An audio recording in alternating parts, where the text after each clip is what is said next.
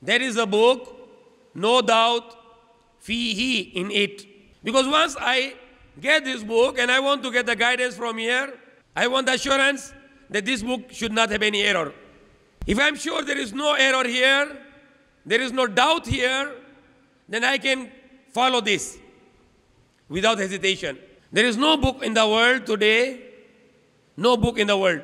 Even if it is the book called the book of God, or the religious book, or scientific book, or historical book, or biological book, or the book of physics, or book of science, or book of geography, or book of sociology.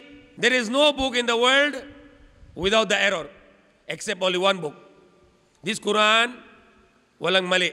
And the Quran not only without the error, Quran challenge. There are many challenges in the Quran. The Quran is challenging. Show the any error here. Allah said in the Quran, अफला यदबरुल्कुराना वलोकाना मिनिंद लवजिदू fee इख्तलाफन Katira Do they not ponder? Do they not think that if this Quran is from other than Allah, then you should find many errors, discrepancies here. But it is from Allah, so no error, no mistake. Walang mali sa Quran. So once you get the assurance that this book is authenticated, now you can follow that book. What Allah tells us to ask from Him, Ihdina Sirat al-Mustaqim, guide us to the straight way. And once the next surah start, Allah said, after giving us assurance that there is no doubt in this book, what Allah is saying next, Hudal lil Muttaqin, this book is the guidance.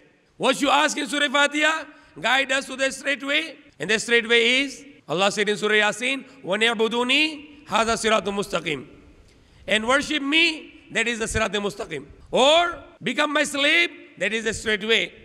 Kung tayo maging alipin ng Allah, yan, tuwid ng daan. So Allah is saying, if you want guidance, then there is a condition. Allah is telling that this book is a guidance book.